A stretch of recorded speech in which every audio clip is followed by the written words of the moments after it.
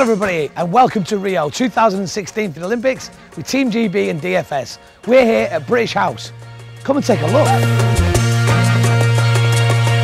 This is home from home for Team GB and partners and their nearest and dearest whilst we're here in Rio de Janeiro. Obrigado fellas, stand down. Isn't it beautiful? So welcome to this room, it's the AIC, it's the Athletes in Competition room, perhaps the most exclusive room in the house. No one else is allowed in here except Athletes in Competition.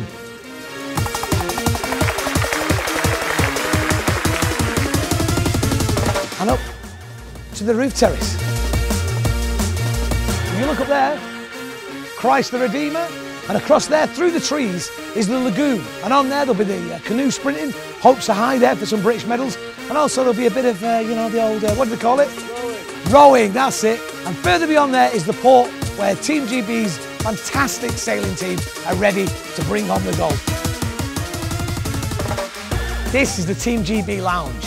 This is a lovely space for Team GB athletes to relax and enjoy themselves when they finish competing. It's also a special place for the nearest and dearest. So whoever it is, brother or sister, husband or wife, mum or dad, can watch their loved ones compete, sat here on the best seat in the house, watching them bring victory home for Team GB and their families.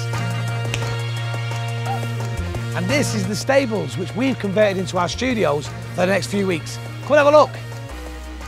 Great Brits, game on!